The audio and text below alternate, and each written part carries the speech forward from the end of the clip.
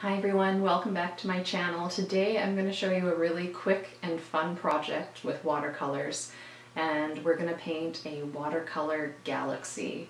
Those are pretty popular right now, um, but everybody's does seem to turn out a little bit different. So if you're interested in learning how to make a quick watercolor galaxy with beautiful colors blending together, then keep on watching.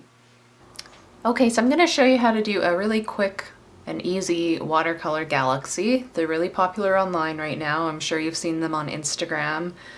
I am taking just some clean water and a big round brush. This is a size 10, or sorry, it's a size 14. And I am, I didn't even draw out a line. I'm just kind of making a really large circle with clean water, just swirling my brush around. The paint is going to flow wherever the water is, and this is just in my sketchbook. And you can tilt your page if you want to see exactly where you have the water. Make sure you didn't miss any spots. Now I've got a nice round circle.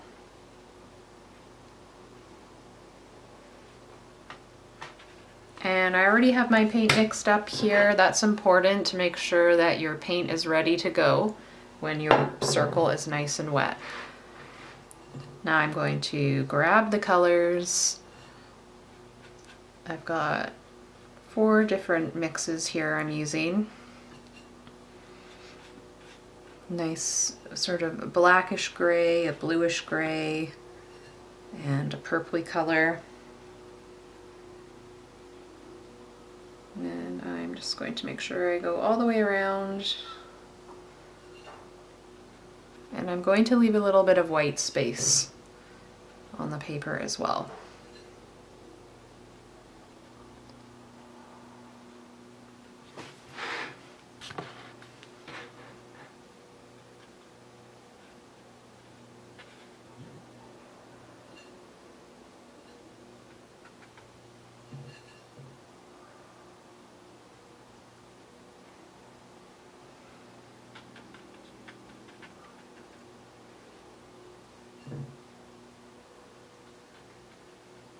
Okay, so now I've dabbed on a whole bunch of color. While it's still wet, I am going to give it a tap. You could tap your paper if it's attached to a board. This is already in my sketchbook. And I'm just letting the color run back and forth.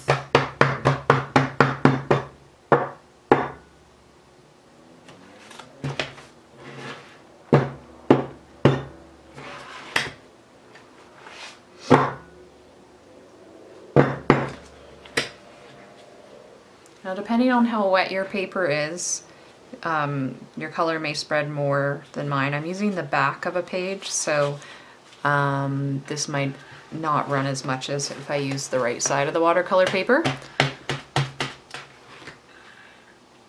Lastly, what I'm going to do is get my brush clean and it has just damp water on it and I'm just going to tap with my finger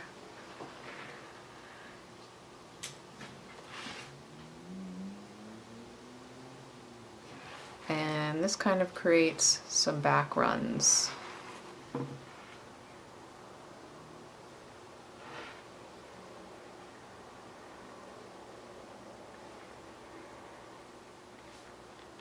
just tilting the paper around and as you can see you're getting some really really cool sort of paler areas some of the white paper is reserved and the other colors are mixing together.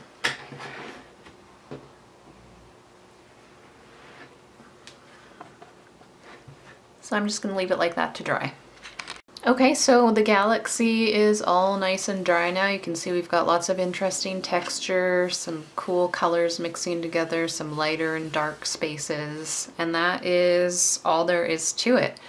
If you want to know a little bit more about the exact colors I used or even how to add in some white paint to create a look like stars that you could spatter around, check out my full-length online class on Skillshare.com. uh, Three Easy Skyscapes, and it's all about watercolor washes and the basics of learning three washes um, that you can use for many, many different types of watercolor painting. And I'll link that down below with a special link where you can get two months free and you'll get access to all of my classes plus thousands of other classes by awesome creative art teachers on Skillshare as well. Here's an example of a starry night sky that I did using the same technique I used for that easy circular galaxy and instead I did the whole page, I added some stars and some silhouetted trees and once again you can get this full-length class and project plus two other skyscapes, a blue sky and a sunset in my Skillshare class which is linked down below.